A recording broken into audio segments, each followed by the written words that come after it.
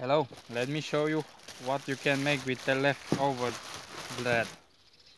So, you can you can take your bread and uh,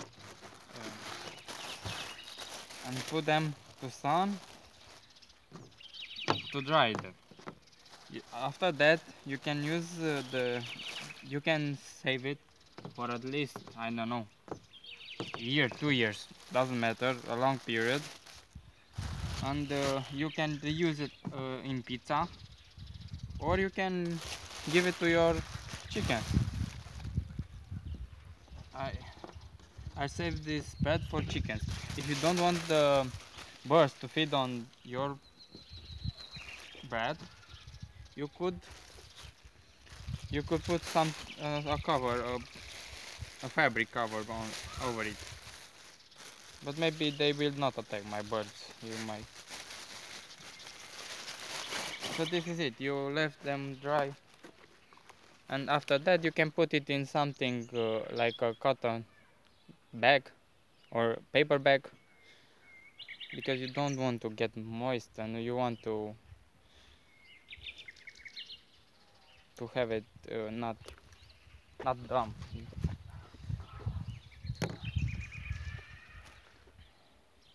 it's better when it's not mold on you. But it's okay with mold also with mold. So this is it this is you. And if it, it's if you um so if you need them uh, let's say in a sort of a situation an apocalypse situation you could use it. You can dry you can put it in your food. You can you can make crops so there are some ways you can use it. But it's it's good in pizza. You so let you take you take the bread you cut off the the you cut on the you cut off the middle. You make some squares you put it on pan you you put some water and you you can put peppers and other condiments on cheese and what uh, what do you like on pizza? Put in the oven and that's it. You can have a pizza. But I, I want to dry them because I want to give them to my chickens.